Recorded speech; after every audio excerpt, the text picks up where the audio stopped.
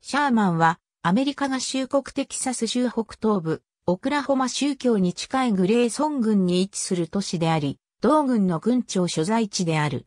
2010年の国勢調査では人口38,521人だった。シャーマン・デニソン大都市圏の主要都市である。シャーマン市の氏名はテキサス革命の英雄シドニー・シャーマン将軍にちなんで名付けられた。1846年3月17日、グレーソン軍を創設したテキサス州法によって、軍庁所在地に指定された。1847年には、郵便局が運営を始めた。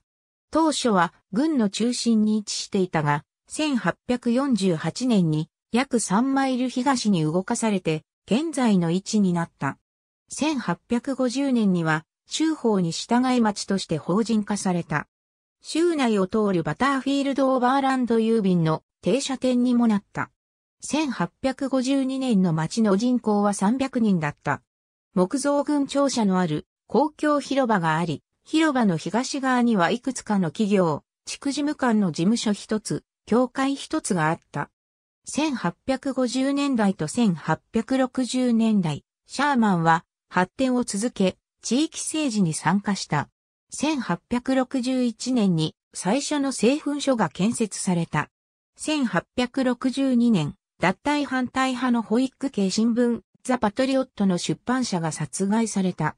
南北戦争中と、その後、ジェシー・ジェームズやウィリアム・クアントリルが率いた北テキサスの無法者集団が市内でも見られた。その後ジェームズはそのハネムーンの少なくとも一部をシャーマンで過ごし、馬に乗っている姿を写真に撮られている。この時期に北テキサスにおける教育も発展した。北テキサスメソジスト会議の講演で、1866年にシャーマン男子及び女子高校が生徒の受け入れを始めた。当時市内にある私立学校3校の一つだった。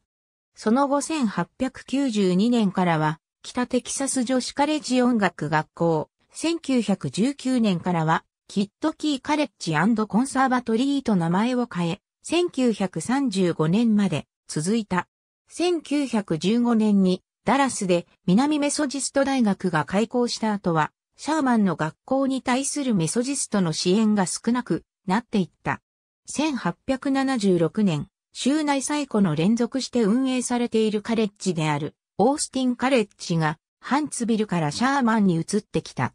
シャーマン女子大学、後のメアリーナッシュカレッジは、1877年にバプテスト教会の後援で開校された。1901年まで運営されていたが、この年にキャンパスをキッドキーカレッジに売却した。ディスシプルズ・オブ・クライスト系列の女子大学カーバーデットカレッジは、1894年から1929年まで運営されていた。ユダヤ人もこの地域に入植するようになって長い歴史があり、1873年までにハイホリディの集会を行うようになっていた。レコンストラクション時代は全体的に不況であり、無法状態が続いたが、商業的には活発だった。1870年代に人口は6000人に達した。1875年、2度の火事で広場の東にあった多くの建物が消失した。これらはより優れた建材を使って再建された。その中には1876年に建設されたグレーソン軍庁舎がある。1879年、北テキサス古き開拓者協会が結成され、シャーマン近くで集会を開いた。グレーソン軍のこの協会は1898年に法人化され、1909年にはオールドセトラーズ公園の買収を完了した。1896年5月15日、藤田スケール会後の竜巻がシャーマンを襲った。この竜巻は幅400ヤード、長さ28マイルにわたって被害を与え、73人が死亡し、200人が負傷した。約50件の家屋が破壊され、そのうち20件は全壊だった。1901年、州内初の電気都市間鉄道であるデニソンシャーマン鉄道が両都市の間に開通した。1908年、テキサストラクション社がシャーマンとダラスの間の都市間、全65マイルを完成させ、1911年にはデニソンシャーマン鉄道を買収した。ダラスとデニソンの中継点を通じて、州内のテレル、コルシカーナ、ウェイコ、フォートワース、クリバーン、デントン、オクラホマ州、デュラントまで都市間鉄道でつながれた。デニソンとシャーマンの間には、当時民間のアミューズメントパークだったウッドレイクパークがあり、人気を呼んだ。1948年までに、州内の都市間鉄道はすべて廃線になった。1930年シャーマン暴動の時に、アフリカ系アメリカ人男性ジョージ・ヒューズの後半中に、放火によって優美な二代目の軍庁舎が消失した。この暴動でヒューズは軍庁舎の保護室に閉じ込められており、この火事で焼死した。ボートたちは保護室からヒューズの遺骸を回収し、車の後に引きずり、首吊りにし、火をつけた。この暴動中にテキサスレンジャーのフランクハマーがシャーマン市内におり、州知事団ムーディに状況を報告した。5月9日、ムーディ知事が事態を鎮めるために州軍を送り、5月10日にはさらに増派した。シャーマン氏は、北緯33度38分28秒整形96度36分36秒、北緯33.64111度整形96.61000度、33.64111-96.61000に位置している。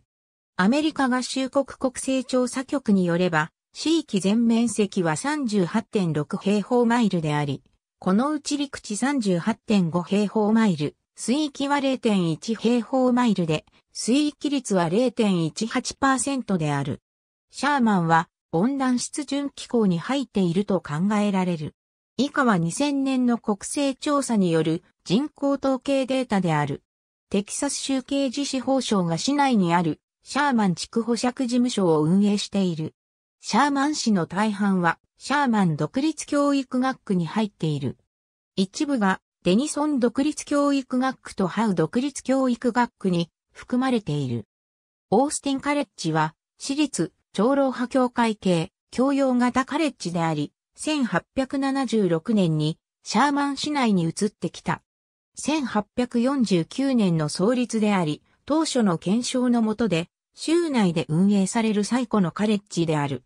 グレイソン軍カレッジは近くのデニソン市内にあり、シャーマン市内でも分校を運営している。オースティンカレッジのキャンパスにある管理棟市内で発行される雑誌には以下のものがある。新聞はザ・ヘラルド・デモクラットである。ラジオは FM3 局を聴取できる。テレビは全国ネットのものを含め6局ある。シャーマン市内をアメリカ国道75号線と同82号線が通っている。バック・オーウェンスはシャーマンで生まれた著名音楽家である。他に3本のテキサス州道があり、軍外まで伸びている。テキサス州道11号線、同56号線、同289号線であり、289号線はテクソマコまで伸びている。一般用途空港として、シャーマン市民空港と北テキサス地域空港、ペリン飛行場がある。